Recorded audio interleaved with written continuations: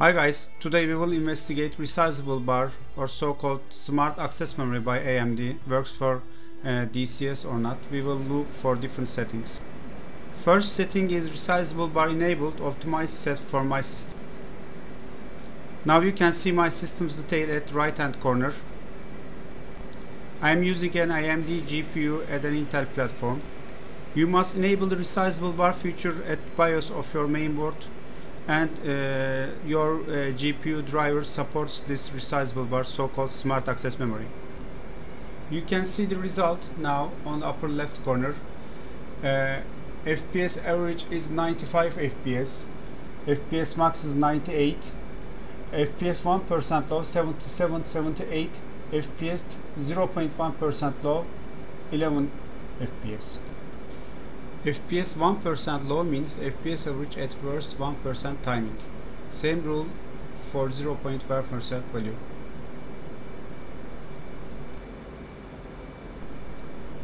Now we have seen the set of these results.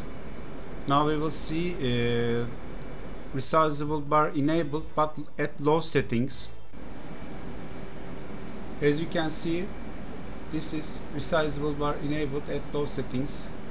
FPS average is 177, max 188, FPS 1% low 99 on hundreds, FPS 0.1% low at 8 FPS.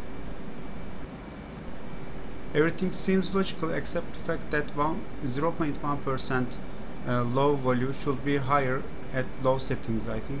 But it seems uh, like this. We will see and we will compare Now we see the resizable bar disabled optimized set. As you can see, FPS average dropped from 96 to 88.